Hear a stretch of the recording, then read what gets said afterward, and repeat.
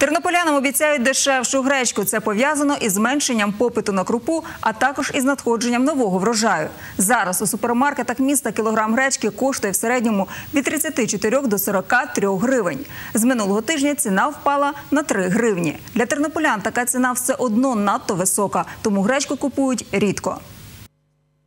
Останнім часом ціна на гречку суттєво не впала, але трохи змінилася. Напевно, це е, зміни пішли в тому, що Міністерство аграрної політики передбачає вдалий урожай гречки. Як вона далі буде зростати чи падати, ніхто не знає. Ну, в даний момент вона трошки здешевіла. Ми купуємо там раз в три місяці, кілограм 5-6 і вистачає.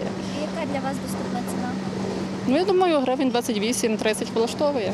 Дуже дорого, бо в нас поля є, і в нас має бути гречка тана. Ну, Десь так, 15 гривень. Думаю. Ну, тому що так, відповідно, якщо враховуючи, як її вирощувати, як її доставляти, то я так думаю, що так. Були по десь до 49, певно. А ви часто купуєте? Не часто. А чому не часто? Бо не- фінансів немає. Фінансів немає на гречку. А скільки була б доступною ціна на гречку? Ну, хоча б десь до 10 гривень, до 15.